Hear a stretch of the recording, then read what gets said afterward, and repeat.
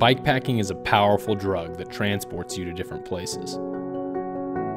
A funny thing happens with time it compresses and expands. Some moments in time are woven into the deepest memories, while other memories are gone as quickly as they arrived.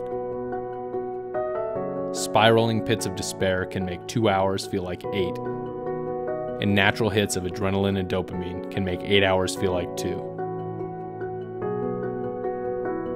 This manipulation of time with endurance sports is fascinating to me. We all do this for different reasons. I love to race. There is bonding through struggle and overcoming the unknown, both physically and psychologically. But there's something different here, on trips like these, something deeper. What exists here is at the core of being a tribal human exploration, camaraderie, and accomplishment together. This is what we were put on this planet to do. There is no drug that even comes close to this.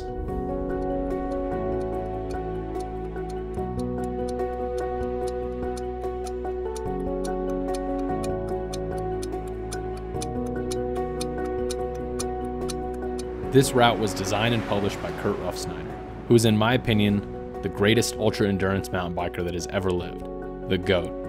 He runs bikepackingroots.org, which is currently the only nonprofit organization dedicated to supporting bikepacking and bikepackers. Go check it out and support what he's doing there if you can. This route is 177 miles with about 11,000 feet of climbing, and we opted to split it into three days and two nights. The approach to this group ride was simple and our goal was to eliminate the pressure to stay together while also keeping the camaraderie of a party pace ride. So we opted for a pseudo self supported bikepacking stage ride with predetermined campsites and a prearranged cooler drop for a resupply at mile 111. The distances between stages were fairly evenly distributed, so the faster riders could take some of the side trip opportunities to various points of interest and lookout points, while the slower riders had plenty of time to not feel hurried to keep up or ride outside of their comfort zones. The route follows forest roads and two track as it weaves through some of the most stunning volcanic landscapes in northern Arizona. We got our permits, filled our resupply cooler with goodies, and kicked off this adventure.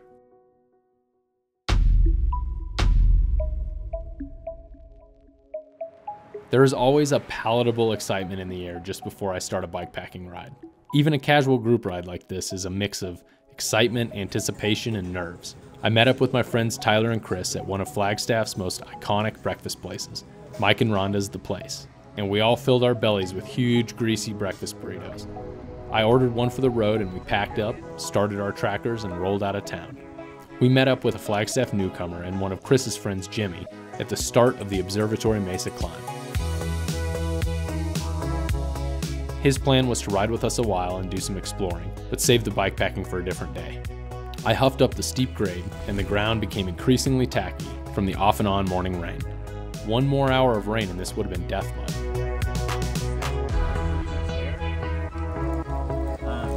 We felt lucky to be rolling smoothly on the network of urban trails and grade A forest roads. The San Francisco peaks were socked in with clouds, but still provided some amazing views. The San Francisco peaks are the eroded remains of a single, once much higher, stratovolcano called the San Francisco Mountain. The SFM volcanic cone was constructed by multiple eruptions between 900,000 and 400,000 years ago. It now contains the six highest individual peaks in Arizona, with the tallest, Humphreys Peak, at 12,637 feet. We continued to head north through the clean corridors of ponderosa pine trees, and soon the equally impressive Kendrick Mountain inched closer. Kendrick Peak rises to the height of 10,425 feet, which makes it the 11th tallest summit in Arizona. Kendrick Peak is a lava dome between 2.7 and 1.4 million years old. A quick detour brought me to the stunning and always popular Lava River Cave. This mile long lava tube cave was formed roughly 700,000 years ago by molten rock that erupted from a volcanic vent in nearby Hart Prairie. The top, sides, and bottom of the flow cooled and solidified first after which the insides of the lava river continued to flow, emptying out the present cave. If you ever do this route, don't pass up on this ultra cool experience. We passed active ranches and U.S. Forest Service cabins for rent as we ascended the real Schultz Pass. It continued to drizzle as I heard elk bugling in the distance, and the surrounding landscape felt very Pacific Northwest in that moment. So cool. A quick pedal on historic Route 66 tarmac brought us over the interstate and back on gravel to our lunch destination. With my belly full once again, we headed west and closed in on Williams. There are moments you get bikepacking that you just don't get anywhere else. You're moving at a slow enough pace to enjoy things you may not have seen if driving in a car. And you're covering enough ground that there are endless opportunities for unique experiences. Bikepackers look non threatening, and people have a tendency to stop and talk to you, which usually leads to some pretty unique conversations. I found I have a tendency to saturate back into the landscape as an observer. You just don't get this from trail running, walled off in a car, or driving an obnoxious, dusty, loud side by side. Chris, Tyler, and I all reconnected and watched in awe as the hundreds of sheep roamed the countryside. There were three working dogs and a shepherd keeping them contained in the field. Talk about primal. This is what these dogs were bred to do, and they were loving every minute of it. The herd started to cross the busy road right in front of us, and one dog circled back behind us and ushered them back to safety. What a magical moment this was between friends. Tarmac carried us into Williams for a junk food resupply at good old reliable Circle K. Then we hit up what appeared to be a closed Pizza Hut, but was in fact fully open and operating. We ordered curbside carryout and Chris discovered Pizza Hut melts, which we all partook. 1100 calories for $6.99. It's hard to beat that. Much more on this discovery and unofficial renaming later. Rolled up on Pizza Hut. Open sign is not illuminated. That does not matter when it comes to Pizza Hut. Doesn't matter if the parking lot looks like it hasn't been maintained there's trash everywhere. They're open and you can get a good deal. So check them out. We meandered northeast. Tyler nerded out at the small but active Williams Airport, and soon we hit dirt once again and watched our shadows appear and disappear with the rolling, ominous storm clouds. Chunky two track roads led us to expansive open fields. My friend Dana affectionately calls this local landscape Flagstaffrica. If you hit it at the right time of day, you'll even see herds of pronghorn deer. 76 miles into the route, we reached our destination campsite, nestled back in the pine trees. Woo! It'll do. So cozy. Here's Chris's setup. Nice. Oh, this is a different tent. Yep. It's only the second time I've used it. Cool. It's our tent moment. Oh. Cool. Two stakes. Whoa. I think Yeah. I did very close to my max miles that I've ever done before. They were easier than my other my other day doing that though. Good scenery, good company. It was super fun. Starting with breakfast, meeting with Jimmy. It was a whole adventure today. Yeah. That was cool. Nice. Yeah. Cool. Well, tomorrow. Tomorrow's gonna be a little more challenging. Yep. I would rate today's ride a solid 8.25 out of 10. Cadillac gravel. Uh, for the most part, good weather as far as not a lot of sun. Uh, very nice, fast gravel with uh, just a touch of uh, Pizza Hut.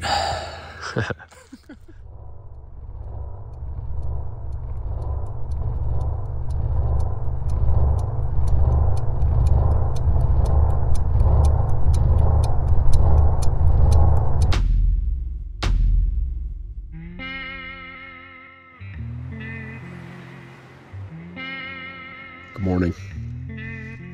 Here's the view from inside my shelter. Pretty cozy. Morning came and I stared at the dew on the inside of my tarp. I laid awake and pondered how long it would take for the sun to shine and dry things out. It was way more wet and cold than I expected. I shimmied out of my bivy and asked Chris, How cold do you think it is right now? And his response was, Warmer than it feels because of the wet. Chris packed up quickly and hit the road ahead of Tyler and I. His years of backpacking really pay off, and this wasn't his first wet pack up rodeo. I made it a few miles down the road and took a quick detour to take in some morning sun, warm up, and have a quick yard sale to prepare for the day. Tyler and I turned and started heading east out of the high desert and back into the pine trees. The group began to separate, and this part of the route was full of slow climbs, very chunky two track, and old abandoned ranch houses. Well, I just broke a spoke. Good times. I opted to take the side trip up to Red Mountain Lookout. Red Mountain is a volcanic cinder cone that rises a thousand feet above the surrounding landscape. It is unusual in having the shape of a U and in lacking the symmetrical shape of most cinder cones. In addition, a large natural amphitheater cuts into the cone's northeast flank. Erosional pillars, called hoodoos, decorate the amphitheater, and many dark mineral crystals erode out of its walls. There were epic 360 degree views at the top, and I figured it's a great place to have my lunch. So I pulled out my Pizza Hut melts, which Chris had officially renamed to sodium triangles, and dug in. Okay, again, this is why pizza is the greatest food ever made for bike packing. Ever. In the history of ever. Look at that. Amazing.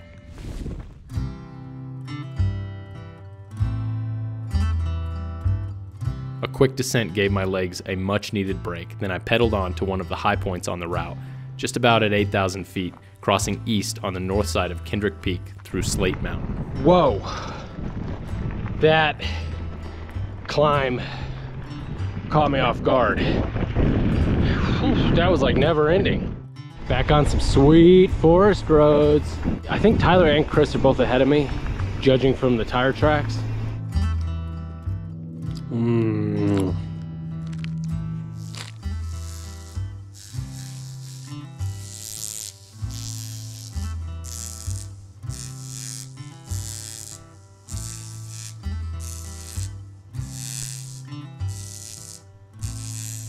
Hard to sleep with those things.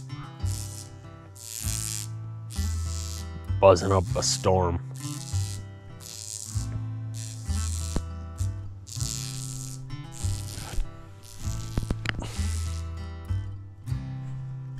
I reunited with Chris at the top of the climb and we descended together to our next waypoint, the strategic resupply cooler we had stashed. There better be a Tyler over there. Oh, hey, you're taking no prisoners today. It was noon when we hit the cooler, and our next prearranged campsite was only four miles away. So the three of us had a parlay and opted to head it on to at least SP Crater at mile 133. With our backpacks full of water and stuffed with snacks, we continued together through my second favorite part on this route, crossing Babbitt Ranch.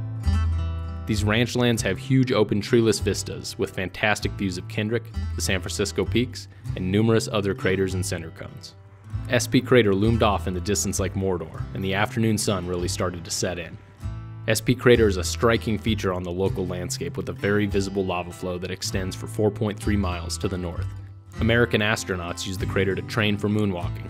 The naming of the mountain is a bit of lore from the Old West. C.J. Babbitt, an 1880s rancher and early landowner of the mountain, expressed his opinion that the mountain resembled a spilled chamber pot, or shit pot, SP, and locally this became the accepted name. Mapmakers refused to spell out the full name, and the mountain has been shown on maps and other literature with the abbreviated name. Not a campsite was to be found for miles, only anthills and ankle high sticker bushes. This harsh landscape is home to many golden eagles as it acts as a preserve and is only accessible during certain times of the year. We finally got relief from the sun as it dipped behind the cinder cones to our right. We were all running out of energy and ready to find camp, and luckily found a clearing down a side service road. No rain tonight. The night sky was stunning. I cowboy camped and watched the 20 or so Starlink satellites run a perfect line across the night sky as I dozed off.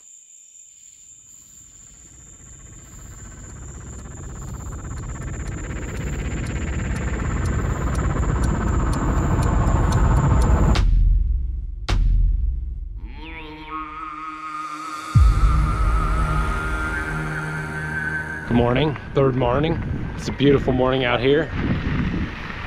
We can see O'Leary Peak off in the distance. Humphreys up to the right. It's kind of hidden behind this mountain here.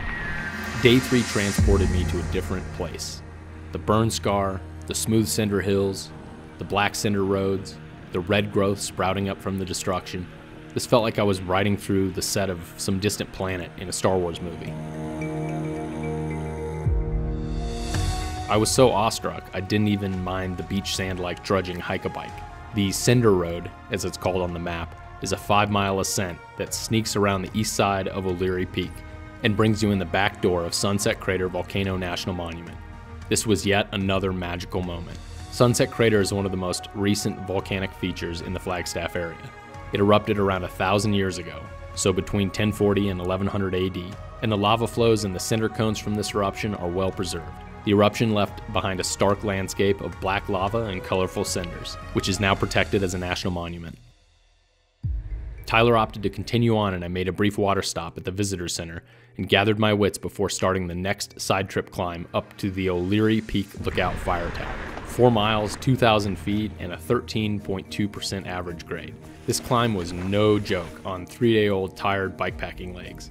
One more switchback left. This is a tough ass climb. But the vast views from the top were worth every drop of sweat.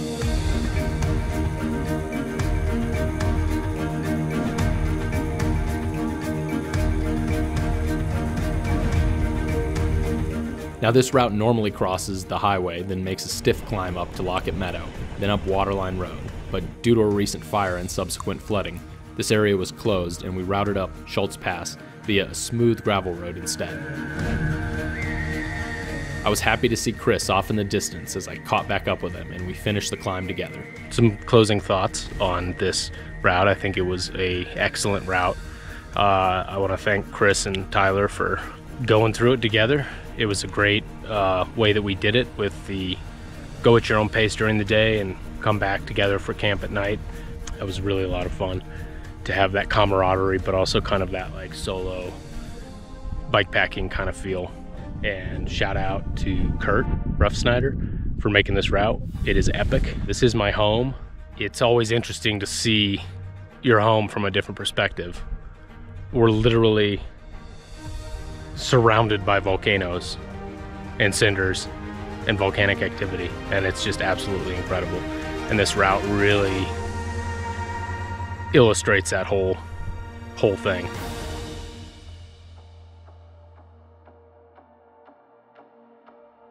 As time exponentially slips by for me, my beard grays and I reflect on my bikepacking adventures.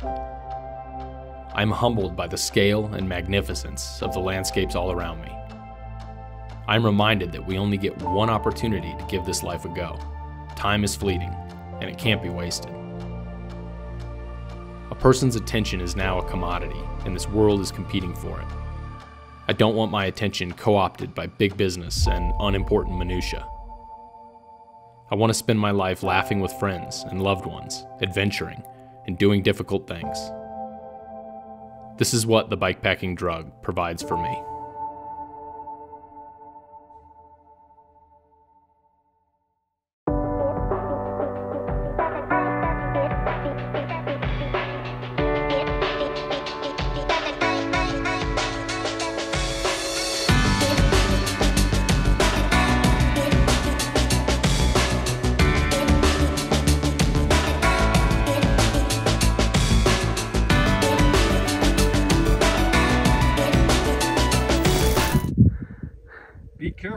Create like a time anomaly. Chris, I'd like you to tell me your favorite part on this whole trip. the true highlight for me was the sodium triangles at Pizza Hut by far. 11, yeah, 6.99 or or I think uh, 8.50 with the 20 ounce Pepsi. 1100 calories and all the sodium you need for the day. How can you beat that? Takes us like north and east, back to Flagstaff, kinda. Is it recording? Oh yeah, I didn't. What's it gonna be? Looks like a big bunch of anticlimacticness.